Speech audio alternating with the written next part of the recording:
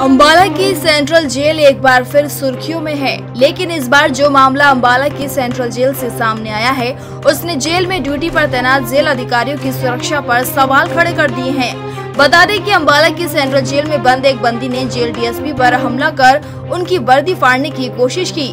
वही एसएचओ थाना बलदेव नगर ने बताया कि जिस बंदी ने डीएसपी पर हमला किया है वो 2019 से जेल में बंद था और उसकी कोर्ट में पेशी थी। लेकिन बंदी कोर्ट में जाने के लिए आनाकानी कर रहा था, जिसके चलते जेल डीएसपी उससे बातचीत करने पहुँचे तो उसने डीएसपी पर हमला किया। इस मामले में पुलिस ने आईपीसी की विभिन्न धाराओं के तहत मामला दर्ज कर आगामी कार्रवाई शुरू कर दी है।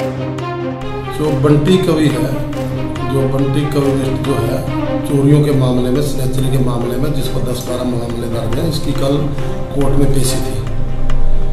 इसका प्रोटेक्शन वारंट गया था इसको जब लेने के लिए गार्ड गई तो उसने जाने से मना कर दिया।